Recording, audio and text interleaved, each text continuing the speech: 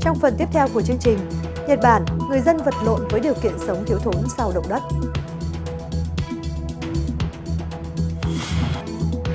Các tàu container chưa thể sớm trở lại hải trình qua kênh đảo Suez.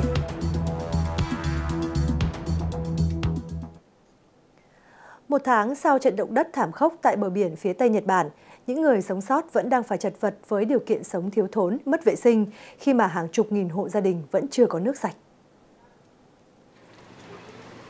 Chính quyền tỉnh Ishikawa cho biết một số khu vực ở bán đảo Noto hẻo lánh có thể phải mất thêm 2 tháng nữa để hệ thống cấp nước sinh hoạt được khôi phục.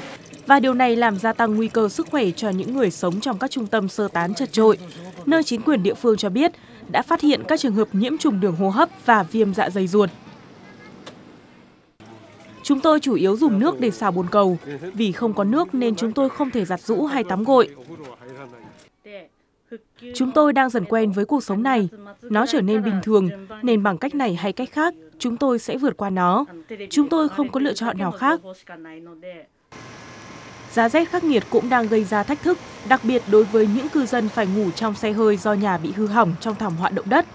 Trong tuần qua, tuyết rơi dày đặc tại khu này, trong khi chính quyền cảnh báo về nguy cơ lở đất. Hãng thông tấn Interfax Ukraine ngày 30 tháng 1 dẫn số liệu chính thức đưa thông tin tổng nợ trong và ngoài nước của Ukraine trong năm 2023 ở mức cao kỷ lục 145,32 tỷ đô la Mỹ.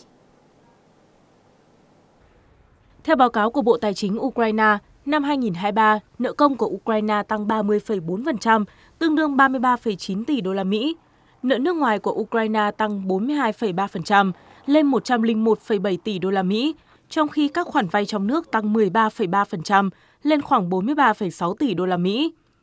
Năm 2022, tổng nợ công của Ukraine tăng 13,7% lên 111,45 tỷ đô la Mỹ.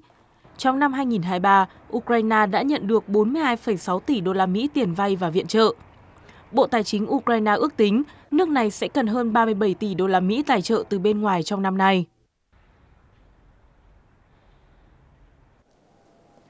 Truyền thông Trung Đông dẫn đánh giá của hãng tư vấn hàng hải Drewry cho biết các tàu container sẽ chưa thể nối lại hành trình qua kênh đảo Suez của Ai Cập ít nhất trong 6 tháng đầu năm 2024 vì các hãng vận tải lớn sẽ chỉ quay trở lại tuyến hàng hải thương mại quan trọng này khi nguy cơ bị tấn công ở Biển Đỏ lắng xuống.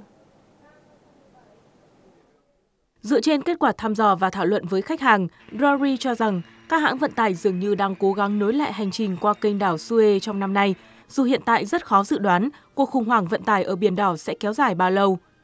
Do lo ngại các cuộc tấn công hiện nay của lực lượng Houthi ở Yemen nằm vào tàu thương mại trên Biển Đỏ, nhiều hãng vận tải đang tránh tuyến hàng hải này và chuyển sang tuyến đường dài hơn quanh mũi hảo vọng của Nam Phi. Dữ liệu của Drari cho thấy số lượng tàu container đi qua kênh Suez trong 3 tuần đầu năm 2024 đã giảm 74% so với cùng kỳ năm ngoái. Trong khi đó, số tàu di chuyển qua mũi hảo vọng tăng 218% trong giai đoạn này.